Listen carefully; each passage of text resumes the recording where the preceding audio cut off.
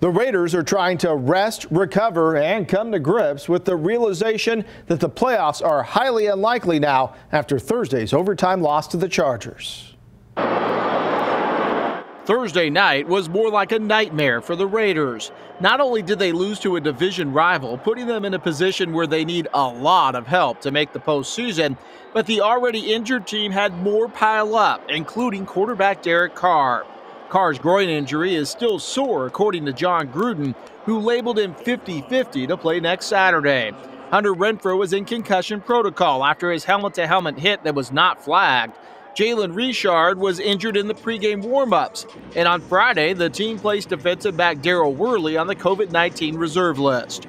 The good news is Gruden is hopeful the four defensive starters who missed Thursday will be back next week. The defense needs them. There were once again major issues in Rod Marinelli's first game as interim defensive coordinator, a game on a short week and without players that made it a tall task to work miracles. You only have a walkthrough practice, really. When you're missing the amount of starters that we're missing, it's a it's a double-edged sword for Rod. But I thought we played hard. Uh, some of our zone coverages, we we, we got to make some corrections. We had a couple busts I, I feel that are that are very very correctable, and they've been common errors that we continue to make. For Raider Nation, Thursday's loss was deflating, but Gruden says there will be no quit in this team. I love football, love this team, and we're building our squad. And uh, unfortunately, some of our first and second year players, guys that we're really counting on, haven't uh, haven't been available a lot.